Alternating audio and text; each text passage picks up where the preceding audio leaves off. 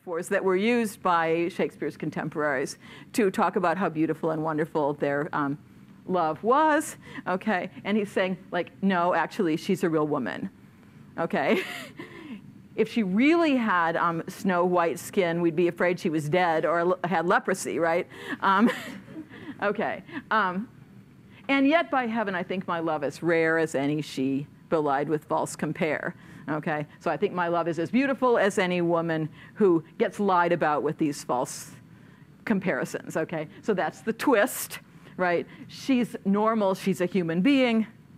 And by the way, she's at least as beautiful as those other ones that um, people wrote all those uh, fakey metaphors about.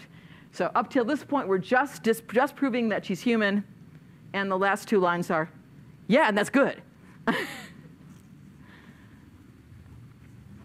All right. Um, so here, shall I compare thee to a summer's day? Thou art more lovely and more temperate. Rough winds do shake the darling buds of May, and summer's lease hath all too short a date. So summer's lease is going to end too soon. Okay, it has a too short an end date. Um, sometime too hot the eye of heaven, heaven shines, and often is his gold complexion dimmed. And every fair, everything fair, from fair sometime declines. It's not always fair, okay? Uh, by chance or nature's changing course, undecorated, untrimmed, okay?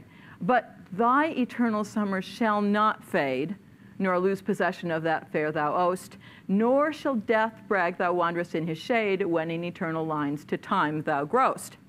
Okay? So here we have actually two couplets, each of which has a slightly different um, part of saying, okay, summer isn't a good enough metaphor because summer is temporary and variable. It isn't, I, I, you're not just a summer's day. I need a better metaphor for you than a summer's day because summer's days sometimes are not beautiful.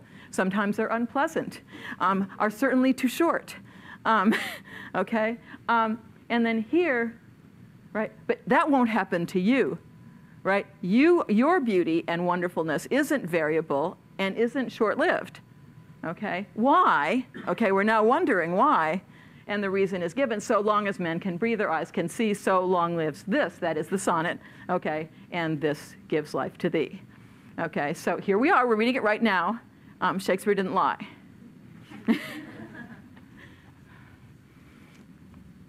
okay, um, and here, perhaps even more fun, all right, that time of year thou mayst in me behold when yellow leaves or none or few do hang upon those boughs which shake against the cold, bare ruined choirs where late the sweet birds sang. In me thou seest the twilight of such day as after sunset fadeth in the west, which by and by black night doth take away, death's second self that seals up all in rest. In me thou seest the glowing of such fire that on the ashes of his youth doth lie, as on the deathbed whereon it must expire, consumed by that which it was nourished by. Sorry, that's a typo. Okay, so when a fire dies down, it's consumed by the ashes of the wood which originally nourished it. Okay, um, so these are three different metaphors for old age. Right, so old age is autumn turning into winter. Um, old age is twilight turning into night and old age is a fire that burned bright, now dying down. Okay, so all of these are um, light heat cycles that are limited. Um, and our final inference that we should draw from every one of these, but isn't as obvious? I mean, like, should I necessarily draw this from each of the source domains? I need it maybe from the target domain, right? Um, this thou perceives, which makes thy love more strong, to love that well which thou must love, leave ere long. So the fact that I'm mortal should make you love me more. Okay?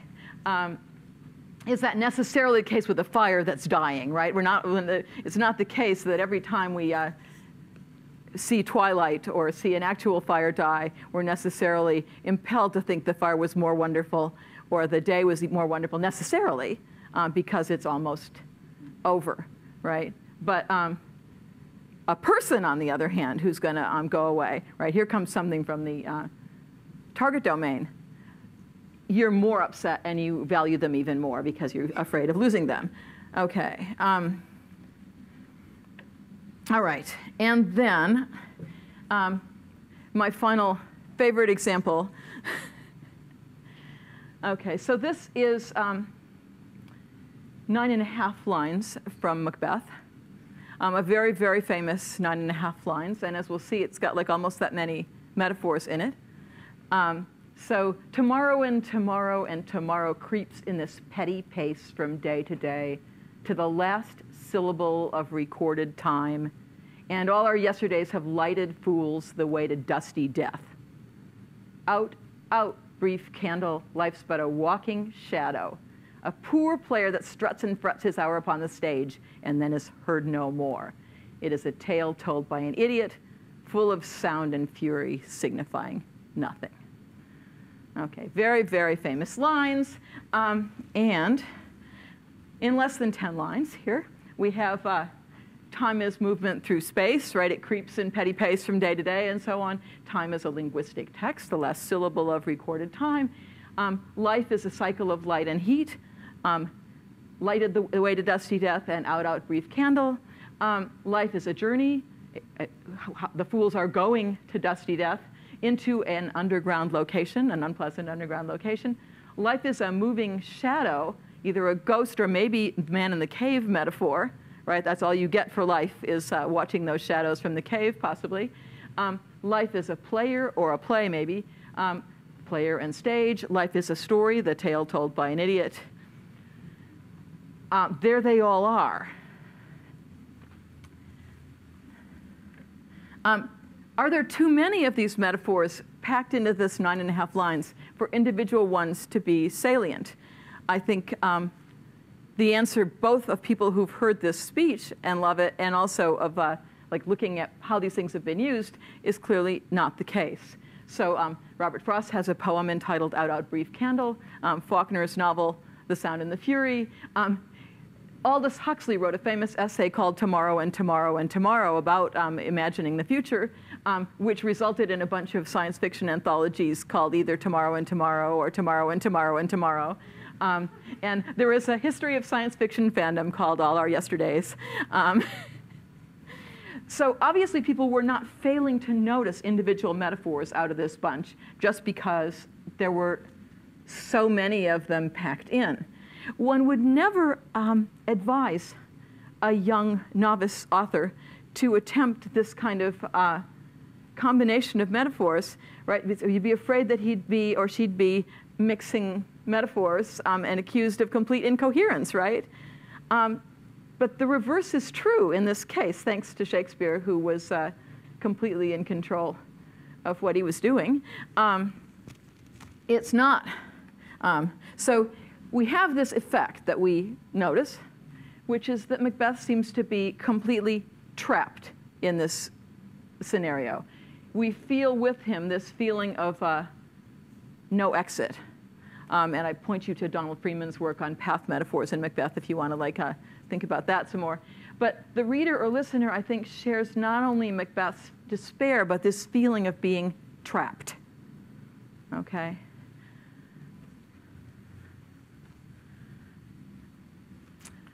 So actually, there's um, relatively little generic structure that's shared by all the domains involved in all of these metaphors. If you were trying to find generic structure, maybe limited time span activities and situations might be a generic space that covers uh, stories, light heat cycles, um,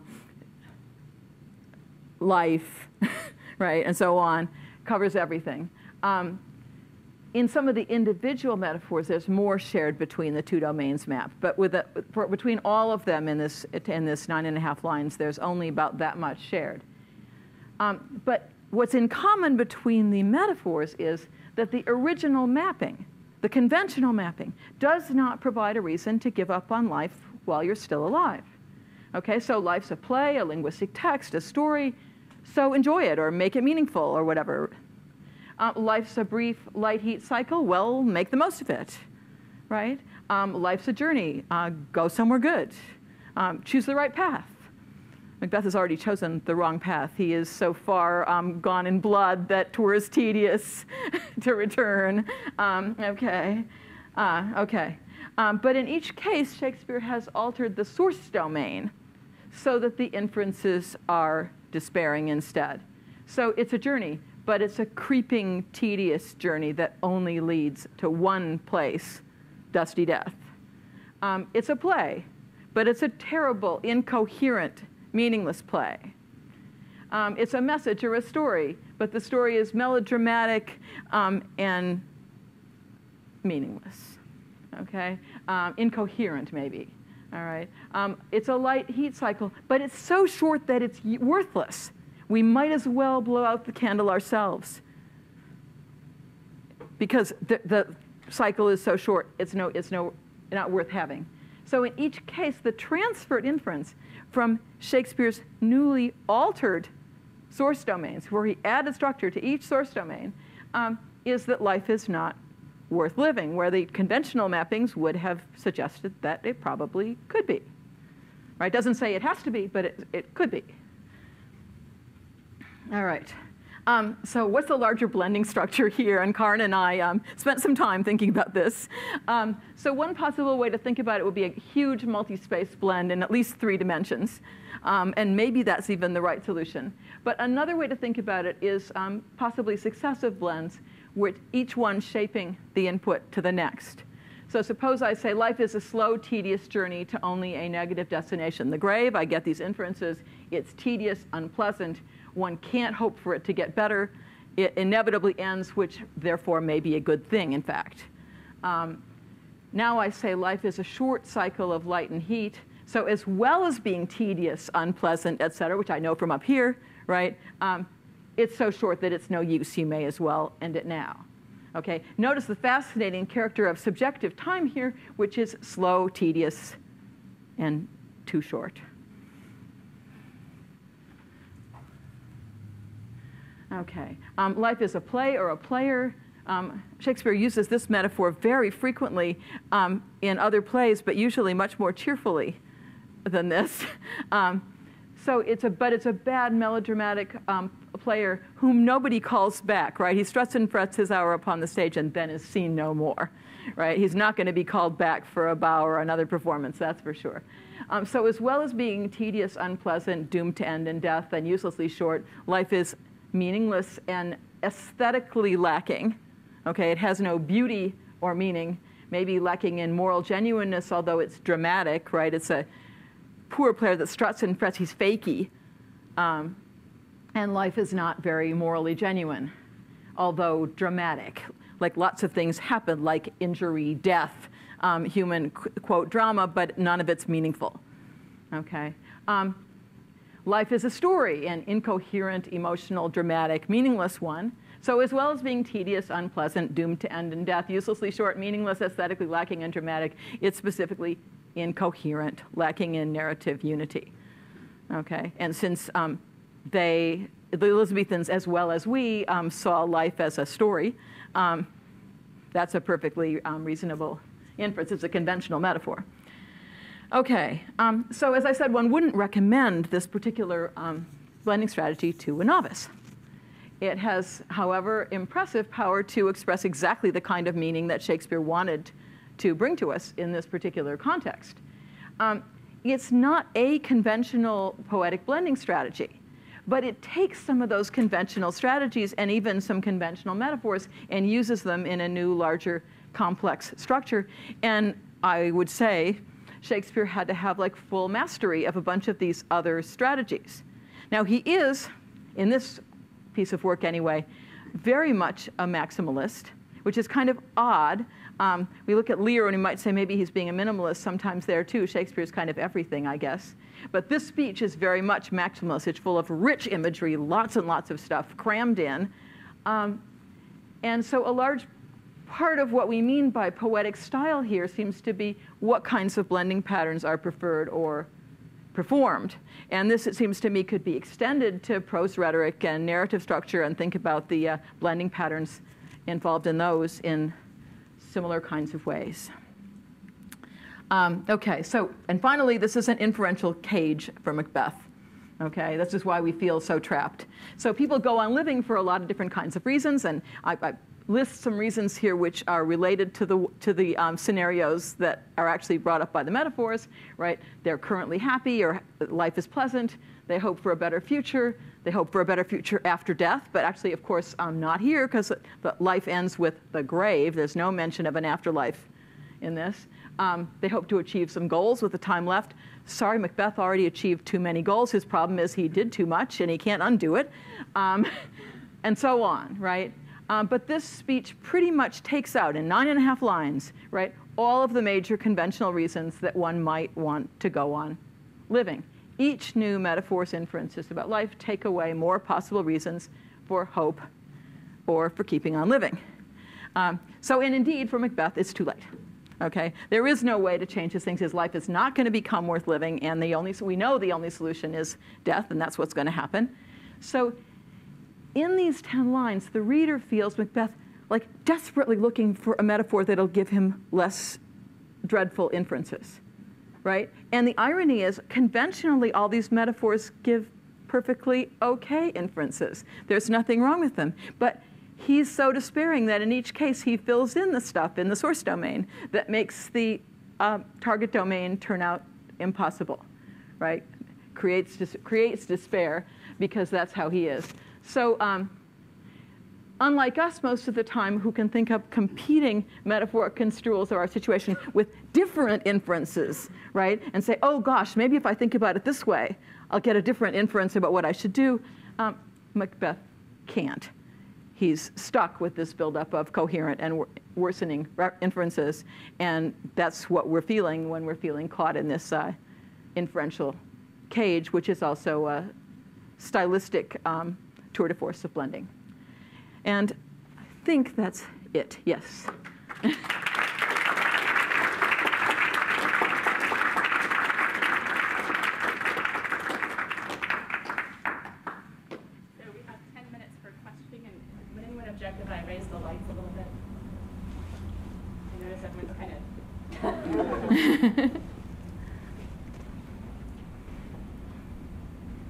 yeah, it looks. And I refer all questions to my co-author, who I'm sure can handle these entirely. but jump in, jump in, please. Yeah. Let's see. I saw that hand first, and then that one. Yeah. Okay. Okay. Yeah. I, I just like to say a little bit about the Frost poem. Uh, I think uh, there's there are some lines in there that might make it seem a little less trite. um, in the poem, he says that the other seem, is no less worn and seems just as good. So in fact, there's a contradiction between the next to last line. I took the one last traveled by, and the and the middle part of the poem. In fact, there is no road. Less traveled by. Okay, by. okay. Okay. So so there's a contradiction in the poem, and you have to work that out. Okay. Okay. And and normally the normal reading of the poem is one that simply ignores the middle part. Okay. Okay. Sorry. No, no, no, no, I, the, the thing about this poem is that it was actually written for a very private purpose. Frost used to go for walks in England with a friend of his who would always dither about which path to take. And he, they would come back and he would start complaining, oh, we should have gone the other way. So Frost wrote this poem to tease the guy, to make fun of him. Uh, okay. Say, what a big choice you made. It doesn't make any difference at all. That's the conclusion of the poem. very good, very good. I should point out, by the way, that um, authors don't have only one mode of this kind of structure. Um, and Dickinson, for example, was in her lifetime mostly published as a more conventional Victorian woman poet. And so those poems are actually often way more closed and not as open in, in structure. And a lot of her more um, difficult meanings that were more problematic for her contemporaries are um, kept in the more open poems where nobody can accuse her of having said something specific. Um, so there's reasons and reasons for an open style. yeah. Um, I wanted to ask about intertextuality as a kind of metaphor here. Intertextuality is blending, yes. Yeah. I've said so about Cyrano once upon a time, yeah, yes. Yeah. so you said uh, that you took the less trodden path, and that seems to me to take the poem and just walking in England makes it very interesting. She dwelt among the untrodden ways beside the springs of Dove, and, and that ends with, and that has made all the difference. Um, and the difference to me in that Wordsworth. That's right, that's right. And so if they're walking in the Lake District, that would be another set of illusions. And so that would be, you know, if you had this list of different kinds of metaphors, image metaphors, That's visual right, that's right. metaphors, ritual metaphors, scientific analogy, personification. We can add intertextuality to this list and many more. Okay, not all intertextuality is metaphoric. So um, when in the last act of Cyrano, okay, um, there's all these lines from previous acts, okay, and they mean something different in the new context, and that's what intertextuality is, right? Something doesn't lose its old context; it brings it with it and meshes it with the new one. So when Cyrano pretends to read his own letter from 15 years ago to Roxane, right? And she gradually figures out that he's not reading it, so she gradually realizes that he knows it by heart and therefore that he wrote it.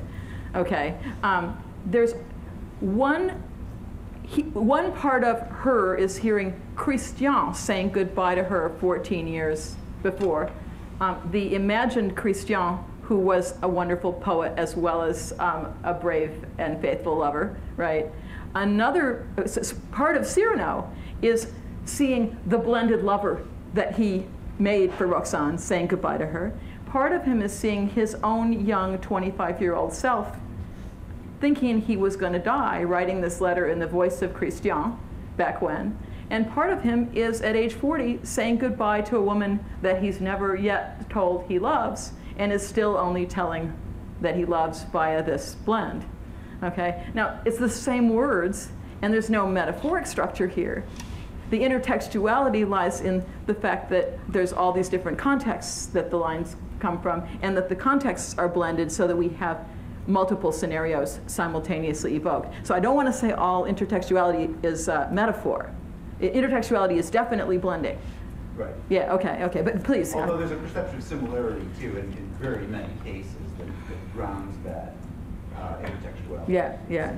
Um, but so you've got all these different kinds of, of metaphors. Um, is the argument then that conceptual blending gives us the right terminology to discuss all of these different kinds of metaphors? That's right. I hope that, that, um, that um, although we can't say that they all have the same, exactly the same mapping properties. And one of the things people haven't attended to, I don't think, although I'm really glad that Carol has been bringing this up and she's been telling us for a long time we need to think about it, is sort of the construction of this stuff. How does a metaphor get built up? What do I have? What do I have to build myself? What's given? What's new? Um, and so on. And what does that change about the meaning, right? Um, and I could decide that, for example, I really think that the Strawberries poem for me is about female authorship or something, right? Um, but the fact that I came to that conclusion on my own and Dickinson didn't um, hand it to me, right? It still makes a difference as to the cognitive uh, processing that went that went on. So I think, and I, that just hasn't been attended to enough. And then there are all these cases where something isn't entirely metaphoric, or you don't necessarily want to call it um, metaphor. And there, there's the fact that these metaphor things are so different. They can all be talked about as blending, but they don't all have the same structure. An image metaphor has no inferential transfer necessarily, right? So yeah, I'm arguing for, um, as Gilles was actually, um, a plurality of entities here, which there's reasons, convenient reasons for some purposes to cl- still class as metaphor. I don't think the term is entirely useless, but I think it really obscures the heterogeneity. Got time for about one more question. Oh, Carol. Yeah, I'm, I'm wondering about the alternative space that's created perhaps by going against the uh, conventional mapping in the Shakespeare sonnet and in the Macbeth soliloquy that um, in a sense you're actually almost drawing on creating this alternative You could space that has the conventional mapping That's in it and playing right. against That's it. right. And you could say actually that the that that um, that Macbeth thing. I didn't. I, I- boy, I didn't want to talk about intertextuality today, but now I've talked about Cyrano. All right. Right. Um, that it's massively intertextual Right. with hundreds, thousands of Renaissance poems about uh, that time of year thou mayst in me behold, Right. um, and Shakespeare's own. Often rather cheerful understanding of life's a play, um, which we find frequently, and so on, right? All of those things.